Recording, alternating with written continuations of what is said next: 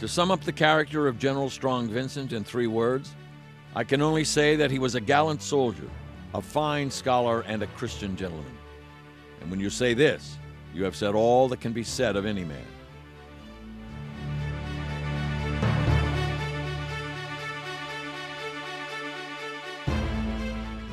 Strong Vincent was born June 17, 1837, in Waterford, Pennsylvania, to Bethuel B. Vincent and Sarah Ann Strong Vincent.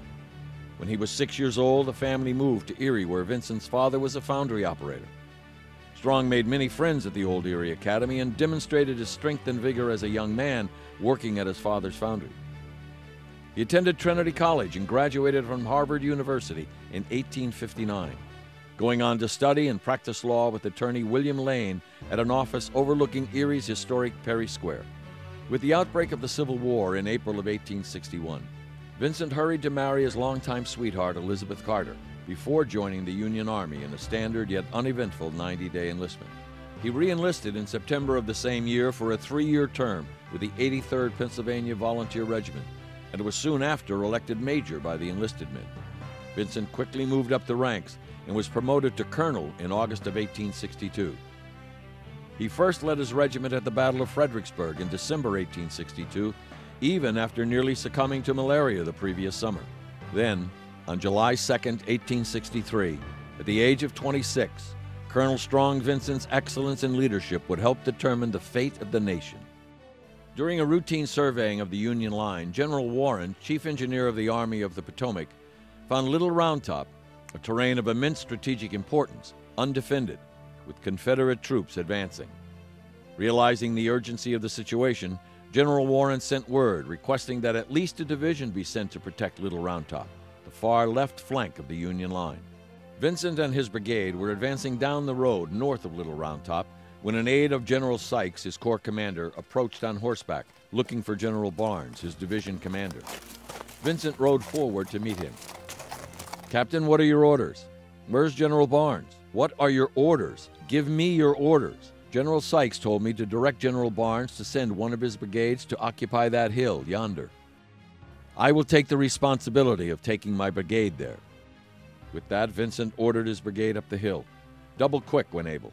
Vincent rode ahead to determine the placement of his brigade. From right to left, Vincent positioned the 16th Michigan, the 44th New York, the 83rd Pennsylvania, followed by the 20th Maine. When Vincent placed the 20th Maine, he told their commander, Colonel Chamberlain, I place you here. This is the end of the Union line. You are to hold this ground at all hazards.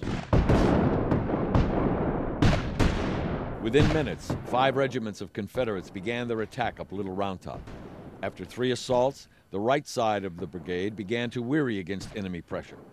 Colonel Vincent observed the 16th Michigan falling back. In a scene befitting legend, he leapt onto a boulder overlooking the Union soldiers and, wielding a riding crop given to him by his wife Elizabeth, commanded his men Don't give an inch, boys, don't give an inch. The Union troops on Little Round Top held their ground. But just then, a rebel bullet struck Vincent in the groin. Strong Vincent was carried to his brigade headquarters behind the 83rd Pennsylvania and then to a nearby farmhouse where he lay suffering from his mortal wound. General Meade, upon hearing of the defense of the Union left flank, telegraphed Washington recommending Colonel Vincent for promotion to Brigadier General.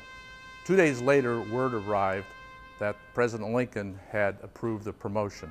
On July 7th, five days after receiving his mortal wound, the newly promoted general died. Vincent's remains were returned to Erie where they were interred in the Erie Cemetery.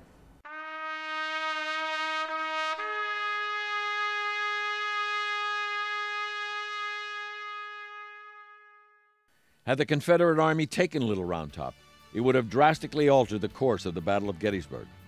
Perhaps the Confederate Army would have gained the victory needed to create two separate nations from the United States. Brigadier General Strong Vincent's decisive action was essential to the preservation of the Union, courageously giving all he could in the service of his native land.